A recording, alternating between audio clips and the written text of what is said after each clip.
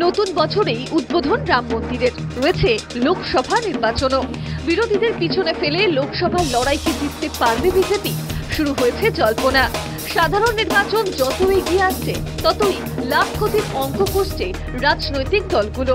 মহিলা ভোট ব্যাংকের কথা মাথায় রেখে সংসদে মহিলা সংরক্ষণ বিল পাশ করিয়েছে মোদী সরকার। নতুন বছরে রাম মন্দির উদ্বোধনের পরে দেশ জোড়া যে আবেগ তৈরি হবে, তার উপর ভর করে চব্বিশের ভোট বৈতরণী পার করা সম্ভব হবে বলে মনে করছে বিজেপি।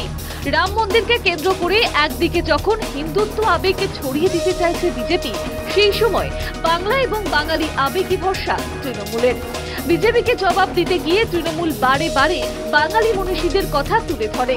রাজনৈতিক মহল মনে করছে, মনীষীদের কথা তুলে ধরে বাঙালি যাত্রাভিমানও খুঁচিয়ে দেওয়ার কৌশল নিয়েছে রাজ্যের শাসক দল। এতে তৃণমূলের লাভই রয়েছে বলে মত। পাশাপাশি লোকসভার লড়াইয়ে বঞ্চনার অভিযোগও তৃণমূলের হাতিয়ার হতে চলেছে বলে মনে করা হচ্ছে। বিজেপির মোকাবিলায় ইতিমধ্যেই ইন্ডিয়া জোট তৈরি করেছে বিরোধী দলগুলি। কংগ্রেসের সঙ্গে জোটে গুরুত্বপূর্ণ শরিক তৃণমূলও।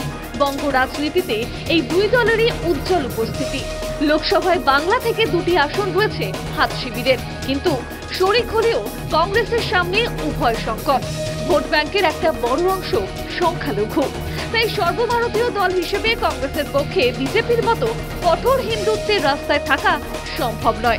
আবার সরাসরি রাম মন্দিরের বিরোধিতা করাও সম্ভব নয়। একইভাবে তৃণমূলের মতো শুধু একটা রাজ্য ধরে বসে থাকা সম্ভব নয়। কংগ্রেসের ভরসা নরম হিন্দুত্ব। এর ফলে সরাসরি রাম মন্দিরের বিরোধিতা না করেও রামকে কেন্দ্র করে বিজেপিকে আক্রমণের পথ খুলে যাচ্ছে। বামেদের সমস্যা আবার চতুর্মুখী। তৃণমূল বিজেপি দুই শিবিরে থেকেই সমদূরত্ব বজায় রাখা বামেদের ঘোষিত অবস্থান। এই অবস্থায় বঙ্গে কংগ্রেস তৃণমূল জোট হলে বামেদের সমস্যা বাড়বে বলেই মনে করছে রাজনৈতিক শিবির। এমনিতেই লোকসভা এবং বিধানসভায় বামেদের আসন সংখ্যা শূন্য। তার মধ্যে কংগ্রেস হাত সরে গেলে বামেদের অবস্থা অথৈবুজ হওয়ার আশঙ্কাও রয়েছে। আবার বিজেপি, তৃণমূল কিংবা কংগ্রেসের মতো হিন্দুত্বের রাস্তা কিংবা বাঙালি আবেগ উস্কে দেওয়ার রাস্তাও বন্ধ বামেদের কাছে। যদিও এসবের রাস্তায় হাঁটতে নারাজ বামেরা। উল্টে তৃণমূল বিজেপিকে এক একযোগে দিচ্ছে তারা। প্রধানমন্ত্রী শনিবারই অযোধ্যায় রেলওয়ে স্টেশন, বিমানবন্দর সহ এক গুচ্ছ প্রকল্পের উদ্বোধন করে রাজনৈতিক শিবিরের মতে, লোকসভা নির্বাচন যত এগিয়ে আসবে, এজেন্ডা হিসেবে হিন্দুত্বকে আরও দৃঢ়ভাবে তুলে ধরবে বিজেপি।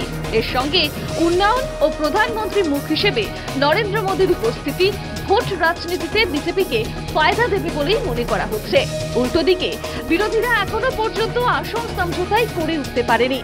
সমস্যায় রয়েছে জোট নিয়েও। এখনও পরিষ্কার নয় বাংলায় জোট আদেও হবে কিনা। পরিষ্কার নয়, বিরোধীদের প্রধানমন্ত্রীর মুখী বাকে। আদৌ কি কাউকে প্রধানমন্ত্রীর মুখ করে ভোটে যাবে বিরোধীরা? নাকি দু চারের মতো ভোট পরবর্তী সময়ে বেছে নেওয়া হবে প্রধানমন্ত্রী? আর এখানেই প্রশ্ন উঠছে, ফিরবে কি দু চারের ইতিহাস? নাকি দু হাজার চোদ্দ উনিশের পর দু হাজার চব্বিশেও মোদী সরকার? News time.